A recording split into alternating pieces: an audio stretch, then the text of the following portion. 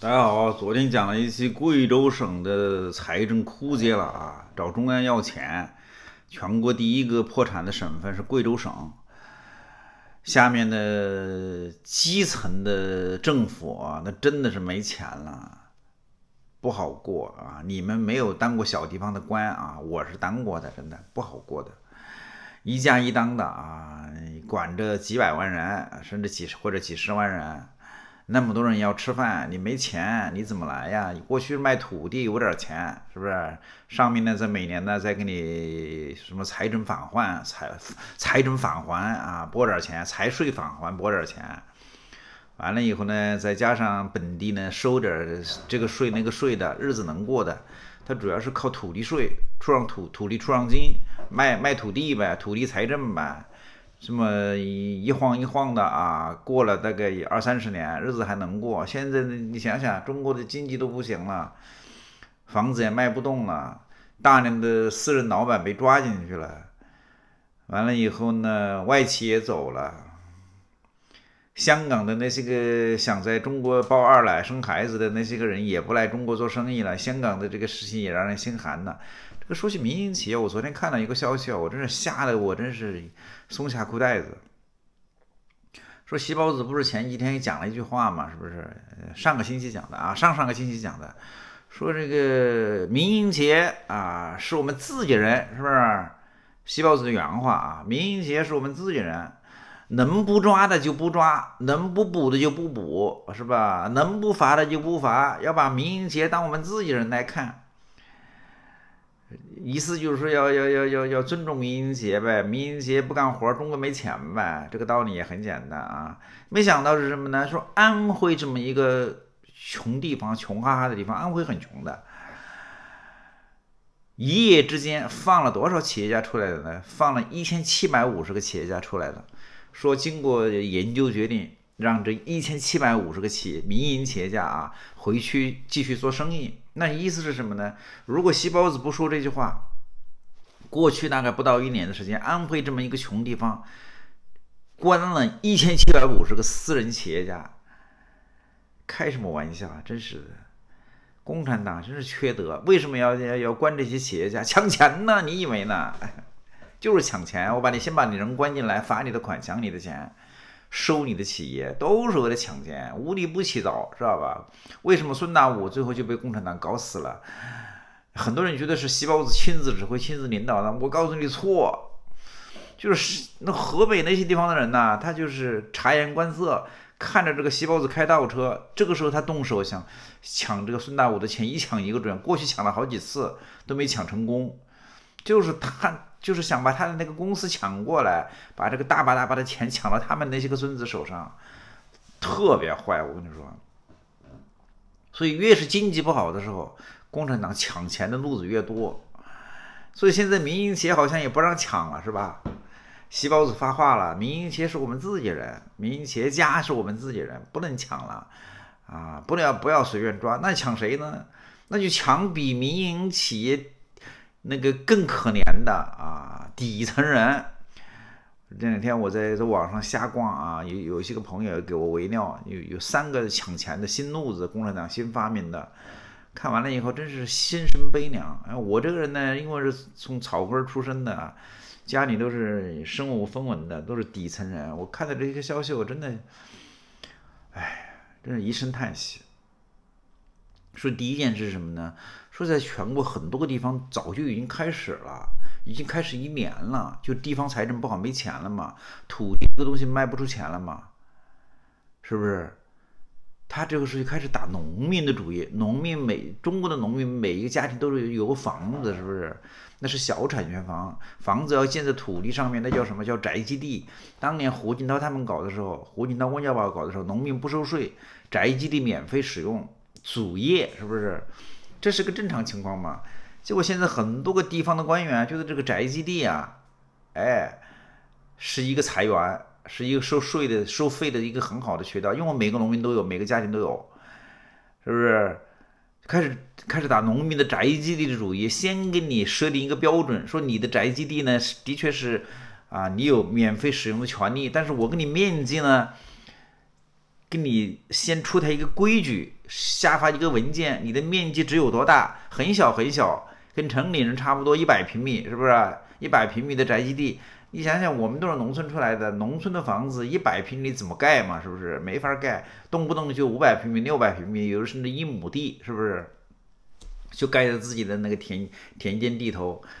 各个家庭没有一个农村的宅基地上面盖的房子没不超面积的啊，所以你凡是你现在政府他出台文件，你超过面积就要收你的钱，他收的多不多？不多，他多中取利呀，是不是？做生意一样的呀，是不多。每个家庭有的有的家庭可能一年要交三百块钱，最多的他们讲一个家庭要交四千多块钱一年。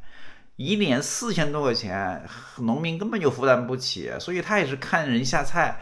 如果你的家庭条件好点儿，是吧？我就多收点儿；如果家庭条件不好，我就少收点儿。三百块钱也是钱呐，是吧？放在篮子里都是都是柴呀。农民多啊，是不是？他人口基数大呀，又一下子财政有钱了。你说这个中共这些这个这个狗东西缺德了。农民收入多低呀！你一年收他三百块钱，那一年只有只有多少钱？是不是只有几千块钱？你说他三百块，他怎么过日子？还有的说一个一一个农民家里一年收四千块钱，他一年家庭收入不到一万块钱，你说他一四千块钱，他怎么过日子呀？是不是？哎呀，我就我就我就佩服土工这些个官员，他真敢想啊！因为我太了解那个情况，我昨天看到这个消息以后，我脑袋里立马想起。我的老家的那些个农民，真是每家每户，他们都是节衣缩食的，就盖了一个房子。有的有的房子盖的还挺气派的，说什么特别大，铺在地上，少说也有半亩地吧。你是一百平米的宅基地，你开玩笑，真不像话。土工真缺德呀，真是。我觉得土工这么搞下去啊，每个人都要五马分尸，那些个狗官员不得好死。第二个是什么呢？说农民也是围绕农民，农民种田种了好多年田，是不是？我他妈就是农民出身，从来没有听说过农民去种田你需要上岗证的，因为你在城里工作你要有证件的嘛，是吧？你要有工作证，你要有资格证，你大学有文凭，是不是？你都总得有个东西啊。农民现在是个什么？你种田是个技术工种，既然是个技术工种，你就要什么？你就要考考农民上岗证，叫农民证。钱收的也不多，我跟你讲，你这个农民行不行啊？给你定几级农民？以前我们小时候，我们说工人是八级工人是吧？一级工人、二级工人。说我有一表我哥是七级工人，哎呦不得了了，是高科技的人才。农民现在也给你定级别，你一级农民、二级农民、八级农民要考，村里的干部、乡里的干部去考试，看你的田种的怎么样，是吧？爷爷种了一辈子田，哎，考过了五级农民。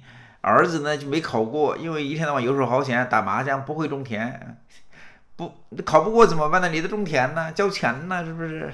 挺有意思的啊，不多，收你一个一百二百的啊，那也是钱呢。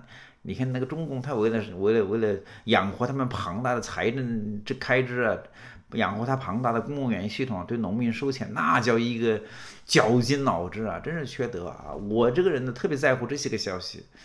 真的，我就想起那些个面朝黄土背朝天的那些个农民。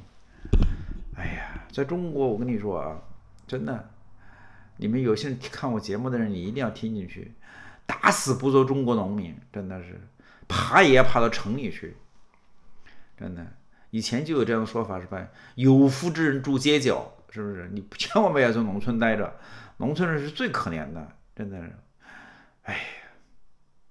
真的，我有时想想，我这辈子真不容易，怎么就逃离了农民这么一个身份？真的是，简直是个神迹。真的，当然城里人也是爬也要爬出中国，是不是？真的，人人的迁徙是人自己所能做的，自由迁徙啊，是人自己所能做的最有意义的工作。你必须要动起来，是不是？真的是，就跟水一样的，你只有流动的水，你才不腐烂，否则你真的就死了。